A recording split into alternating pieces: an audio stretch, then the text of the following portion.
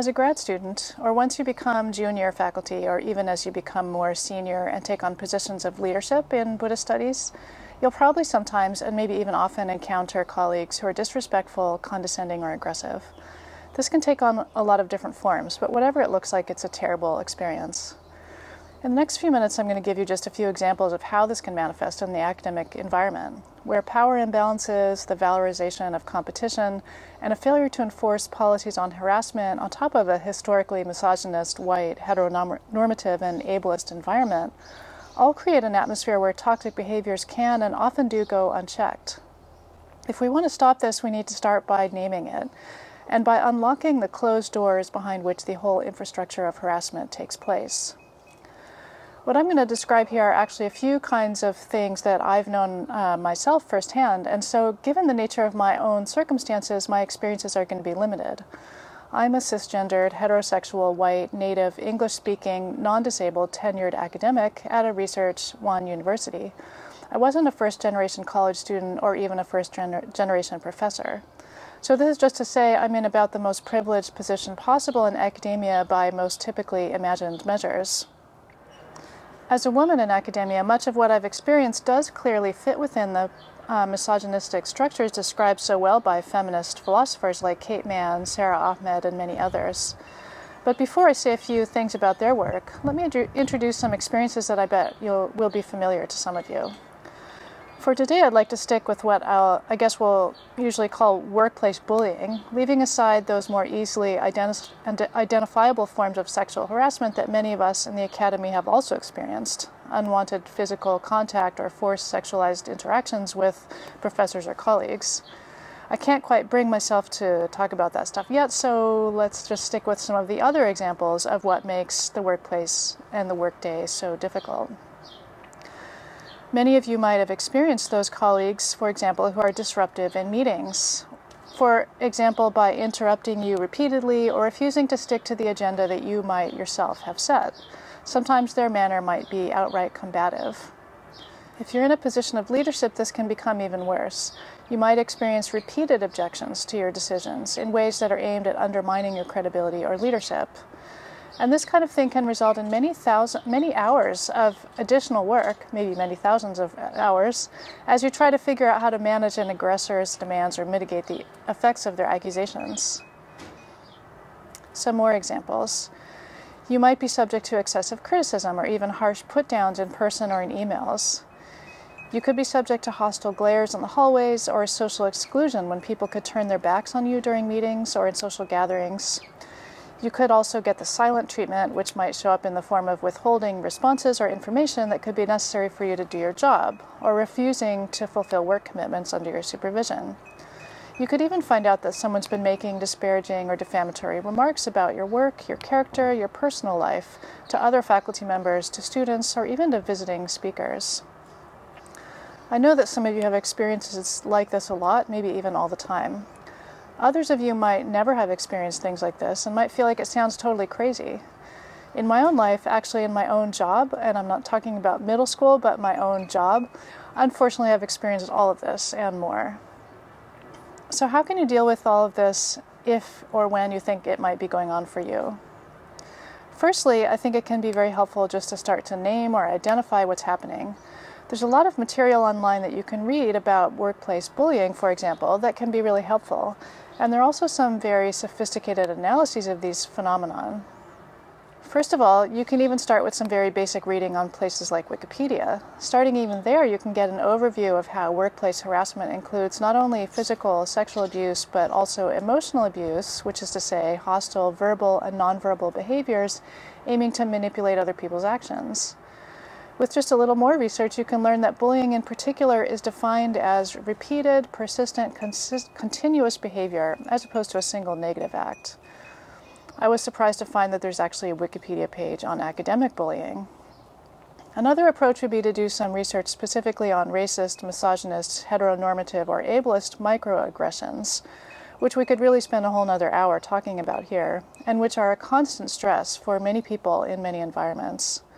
This can include preferential treatment of certain types of people, unwillingness to recognize the effects of one's own power, or the pathologizing of cultural values or communication styles.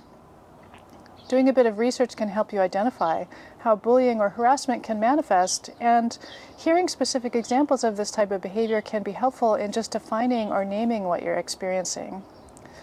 So I'll read off a long list of examples, and maybe you'll know some of these in your own life, although needless to say, I hope you don't. So there's false accusations of mistakes and errors, hostile glares and other intimidating nonverbal behaviors, exclusion and the silent treatment, withholding re- resources or information necessary to do the job, behind the back sabotage and defamation or spreading rumors, trivial fault finding, accusation of lack of effort, over monitoring of work,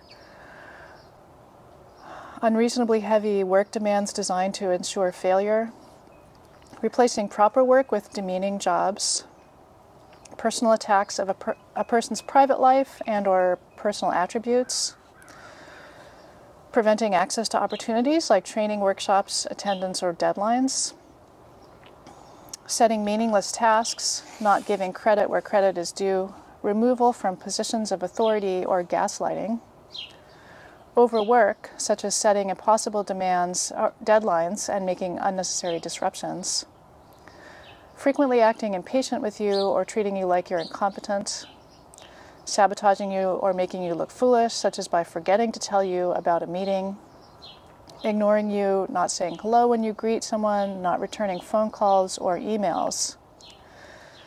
I'd like to emphasize that being subject to harassment or bullying at work is not something you can or should just calm down about. And it's not something you can just meditate yourself out of or take a workshop in an afternoon and get over. Starting to hate your job or your program in school would be a pretty natural response. People who are subject to harassment or bullying can also experience all, kind of all kinds of psychosomatic symptoms and physical illnesses like stress, anxiety, sleeplessness, nightmares, fatigue, frequent colds, back pain, chest pain, high blood pressure, headache, migraines, palpitations, and so on. Over time, these experiences can actually cause a post traumatic stress injury or lead to a permanent disability. On a day to day level, people subject to harassment or bullying at work can find it hard to concentrate and they can be more forgetful, hypervigilant, hypersensitive, withdrawn, or lacking in confidence. So, some of the examples of bullying on the lists I just read are easier to recognize than others, of course. But sometimes there are things like microaggressions or gaslighting that can actually be pretty subtle and one of the problems is that we can feel unsure about whether our experiences constitute harassment or not. Some of us are more inclined than others to worry that we're just being too sensitive or too emotional. And of course, many people will tell us exactly that when we try to report something like that, like this. Often you need to talk to someone else to get an outside perspective. But there are a few questions you can ask yourself. Firstly, for example, was this the first incident or is it part of a series of events? Is someone doing things or saying things in, or, in order to make me uncomfortable? Would another person find the behavior in question unwelcome or offensive also? Am I being singled out and treated differently than my colleagues? Is it likely that the same comment or action would have been made toward a member of a non marginalized group? Is there a particular stereotype associated with the comment or action in question? Am I being regularly criticized or thwarted in my efforts, even though my performance has always been good? What kind of impact or consequences do these incidents have on me, physically, emotionally, or professionally? Partly because bullying behaviors are often invisible to others and difficult to prove. From what I've read, academics who experience bullying are usually reluctant to report these problems. Because problem, problematic events are often taking place behind closed doors, and because when you report them, or if you report them, this reporting also happens behind closed doors, it's not unusual that bullying or harassment in academic environments can persist for a long time, with many people having trouble with a particular offender, without even knowing that this has been a long-standing problem. I haven't done as much research as I'd like to on why this is or on what the enabling structures are that make it so difficult to deal with. But certainly, power imbalances in academic environments, the competitive rather than cooperative or collaborative nature of academic promotion structures, the perceived necessity of overwork and the stress that results from that, the failure to enforce whatever policies on harassment there might be, the fact that performance evaluations don't take into account a faculty member's so called collegiality or lack thereof. All of this, on top of what's traditionally a misogynist, white, heteronormative, and ableist environment, all of these structural factors create an environment where bullying and harassment can flourish. And there's a lot of great research out there that really analyzes how and why these structures were formed in the first place, how they're maintained, and how they affect every one of us in different ways. As academics, we can use our research skills to learn more about this if this isn't already a part of your research. And for many of us in Buddhist studies, for sure, we don't usually have training in this body of research.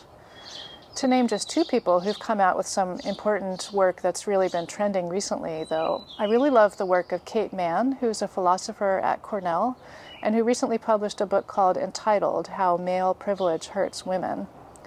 I also love the work of Sara Ahmed, who's done research uh, recently on complaints in the university environment and what happens to people who do file grievance, grievances or complaints about harassment and how the system helps or doesn't help them. So if you search online for Sara Ahmed and complaint, you'll find a number of YouTube uh, lectures and podcast interviews uh, with her describing that research. So I think I said I was going to try to say something less depressing, and I'll try to close that way. I'm not quite sure how to do that, though, with this topic, but I thought I'd try to reframe it to describe how academic life in Buddhist studies should be and really can be and even is if you find the right allies and supporters and colleagues. So for grad students in Buddhist studies, for example, what you should have and what you deserve is a supervisor and committee members who support your work by showing interest in your background, your future plans, your research process, and your research interests. They should ask you questions about these things and engage your responses with a lot of interest and respect. Your supervisory and or committee meetings should be lively and supportive, and I've been in lots of committee meetings that are like that. It really should be and can be fun. You should, in general, leave these meetings feeling energized, inspired, and cared about, not depleted, anxious, or diminished. Grad school is hard enough already, and if these meetings don't make you feel worse, if the meetings do make you feel worse, then you don't have the right advisor or the right committee. Overall, you want to figure out how to situate yourself among people who treat you with respect and in communities that embrace a culture of dignity and compassion. This is possible and it does exist. Look around and find where it is that colleagues or professors are giving you personal responsibility and actively seeking out your views and the views of others. Find a leader or professor who's committed to, te to team or group development and who instills confidence in others, someone who encourages open feedback and debate. Are your grad classes, your supervisory meetings, your faculty committees, are they like that? If not, can you slightly shift your community to one that's more like that? Find academic colleagues with personal integrity. Do they do what they say they will and show respect to everyone? Do they apologize when they've made a mistake?